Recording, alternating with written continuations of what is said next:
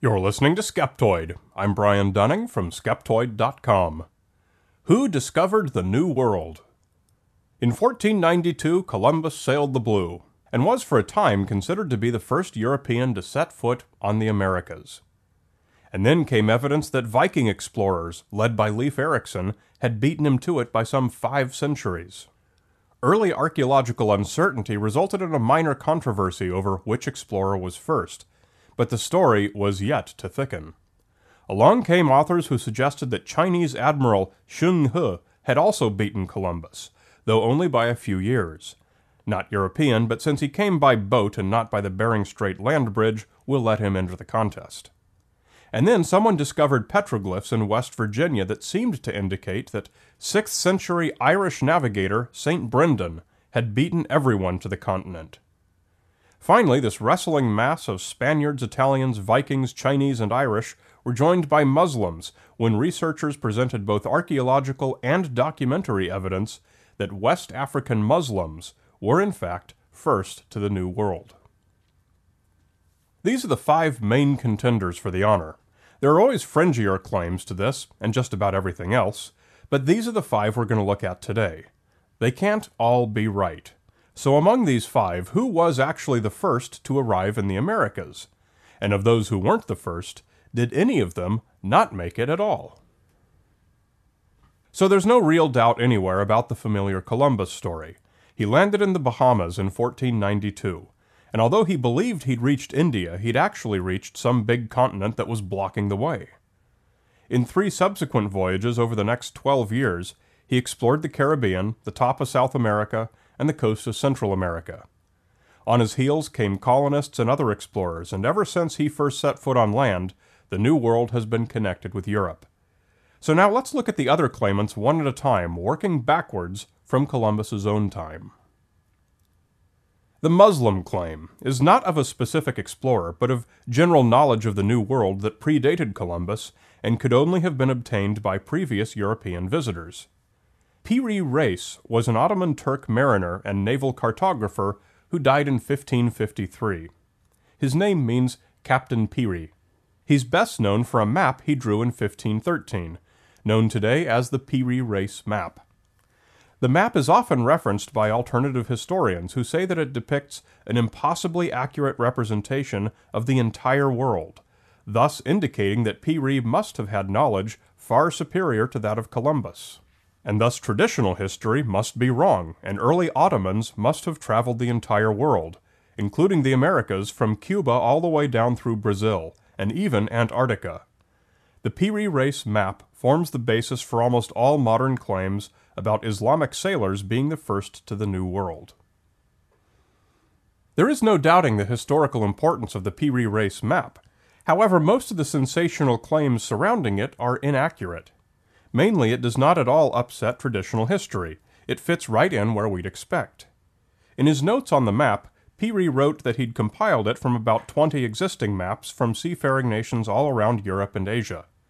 These included ancient Greek maps of the Mediterranean and Indian Ocean, Arabic maps of India, Portuguese maps of Pakistan and China, and the latest map from Columbus, showing the Caribbean islands and a bit of the American East Coast. The map is nowhere near as accurate or comprehensive as usually claimed. At a glance it's obvious that major features are wrong, and the consensus to explain this is that Piri didn't have context for all the individual charts he assembled. Piri showed Brazil as connected to Antarctica, and we believe this was either just an effort to include the presumed terra incognita, or was just the coast of South America twisted around to fit on the page.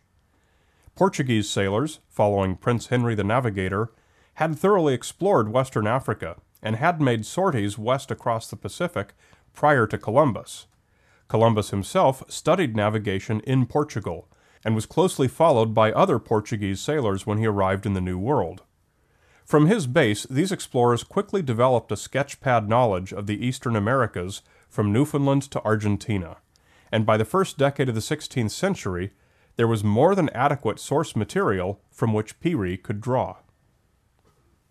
In short, there is no need to introduce an Islamic voyage to the Americas to explain the Piri Reis map, and insufficient archaeological or documentary evidence to support such a voyage either.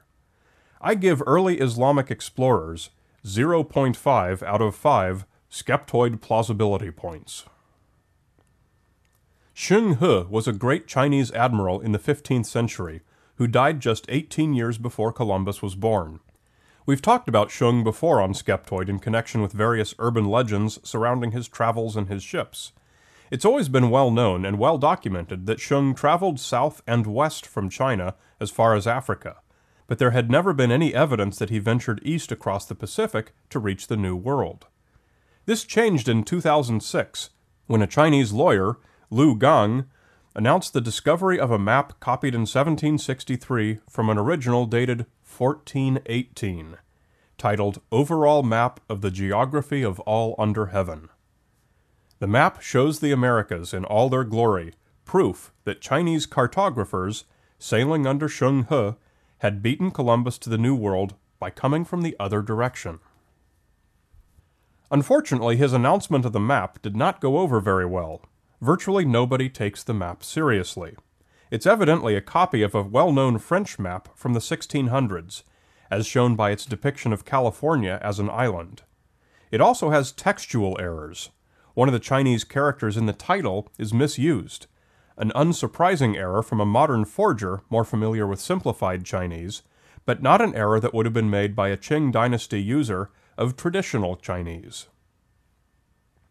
Liu Gang has proven to be his own worst enemy in this enterprise. He published a book in China in 2009 called The Ancient Map Code to promote his map, but in it he goes more than 400 years earlier, claiming to have discovered another Chinese map from 1093 that also depicts the entire world. This particular map, quote unquote, is even sadder. Liu shows a photo taken inside the 1093 tomb of Zhang Kuangzheng that shows paint and plaster flaking off of a wall. Liu superimposed his own concept of a world map over the pattern of damage in such a way as to almost beg pity, and calls this deterioration a map. Zheng He, intrepid explorer though he was, gets 1 out of 5 skeptoid plausibility points, and Liu Gang has a deficit of about 15 points. Leif Erikson was the son of Eric the Red, the Viking who first settled Greenland. Leif followed in his father's mighty footsteps and founded the first colony in Iceland. Much of Leif's doings west of there are known from two Norse sagas, the Saga of the Greenlanders and the Saga of Eric the Red. Now, the problem with sagas is that they were not exactly reliable historical documents. They focused on individuals in a narrative storytelling fashion. The primary destination in these sagas was Vinland the Good, which is believed to have been settled around 1000 CE. Fortunately, a second line of more empirical evidence was added to Leif Erikson's tale. In 1960, archaeologists discovered ruins at the northern tip of the island of Newfoundland. It's called L'Anse aux Meadows, Jellyfish Cove, and of a number of Norse sites believed to have been discovered along the east coast, it's by far the best. The village was built of sod roofs on wooden frames, and the buildings include a forge, complete with iron slag, a boathouse with all sorts of wooden scraps and iron hardware, and sufficient relics to tie it beyond any reasonable doubt to the Norse. We don't know for sure whether L'Anse aux Meadows was part of Vinland or not, or whether it was associated with Leif Erikson, but we do know the Norse lived in this village at the same time the sagas placed him in the vicinity. Since you can hold the L'Anse aux Meadows rivets in your hand, that are consistent with those from Viking longships of the day, and they date to 1000 CE, Leif Erikson gets 4.5 out of 5 skeptoid plausibility points, and the Vikings as a group get 5 out of 5. Saint Brendan the Navigator was a legendary 6th century Irish monk who sailed around the British Isles in leather boats. He's known only from two ancient annals called The Voyage of Saint Brendan the Abbot and The Life of Brendan.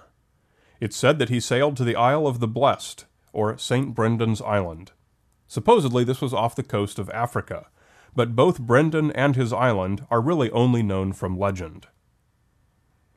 But in 1983, the promotional magazine Wonderful West Virginia published three articles claiming that some ancient petroglyphs found there prove that St. Brendan actually reached the New World around the year 525 and left the petroglyphs, said to be written in the Old Irish script Ogam. They're called the Horse Creek petroglyphs. They were translated by a Dr. Barry Fell and found to be Christian. Ever since a loyal following has claimed St. Brendan to be the first European to the New World, beating even the Vikings by some five centuries. However, sadly, the list of problems with this claim is a long one. No serious archaeologists have ever bothered to study the carvings, because nobody thinks they look like writing. The prevailing feeling is that they're simply marks left where Native Americans had sharpened tools. They were originally discovered by amateurs with no language expertise, and filled with chalk according to which markings the amateurs thought were probably intentional lines, and photographed. Dr. Barry Fell, a retired marine biologist, saw only these photos and never inspected the site. Actually, Ogam experts have universally disagreed with Dr. Fell's translation, and even with the depictions of the characters themselves. So who knows, better information may surface in the future, but for now the West Virginia petroglyphs have no archaeological credibility. St. Brendan's voyage to the New World gets 0 out of 5 skeptoid plausibility points, and the carvings get 0.5 points until such time as a proper expert analysis is done. And so, tallying up the score, we have a winner the Vikings, under the leadership and probable physical presence of Leif Erikson. The Italians, Spanish, Portuguese, Irish, and Turks did all make it here soon thereafter, Zheng He wouldn't get credit for being first even if he had beaten all of those guys, though, since the New World was already thoroughly populated by Northern Asians via the Bering Strait. He still would have been a few tens of thousands of years late to the party. You're listening to Skeptoid, a listener supported program. I'm Brian Dunning from Skeptoid.com.